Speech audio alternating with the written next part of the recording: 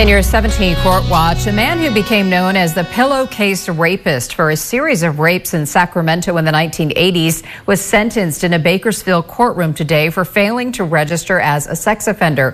KGET.com court reporter Jason Kotowski joins us in studio now with more on that and an arraignment in the case of a deadly stabbing. Jason, good evening.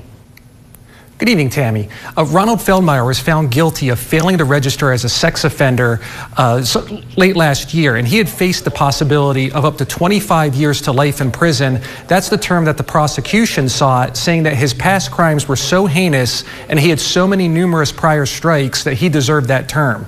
He was ultimately sentenced to six years, though, after the judge determined that the life term would, in fact, be would uh, constitute cruel and unusual punishment.